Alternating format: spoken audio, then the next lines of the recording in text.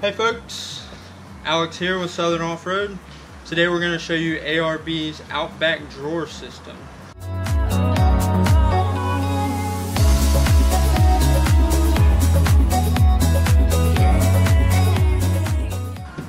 This one right here is made specifically for the Jeep JK.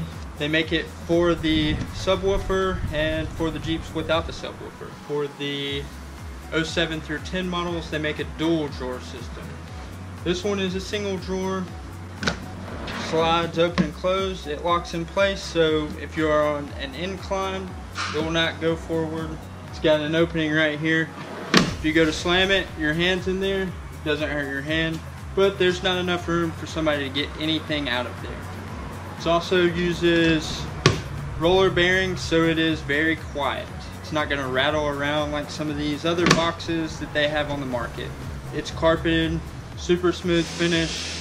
This carpet is not going to mold like your factory carpet, some of the other carpet products out there. You've also got this top slider. If you have stuff on here that you need to get out and work on, you can set it up here. Something heavy that you need to put on here, you can set it up here and then roll it in we actually mounted a lift jack up here.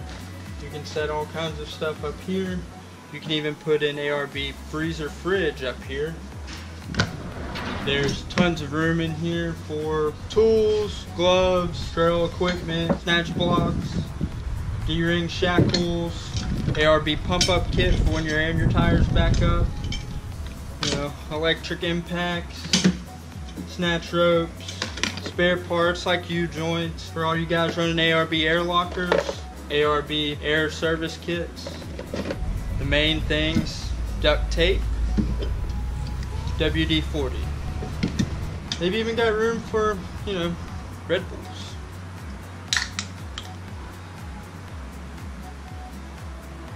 So, as you can see, this is ARB's Outback drawer system for the Jeep JK. Super awesome if you want to lock all your stuff up, have some place to store it, organize it. Super easy to use, pretty simple on the install. And that's pretty much it. I think ARB's got us covered on this.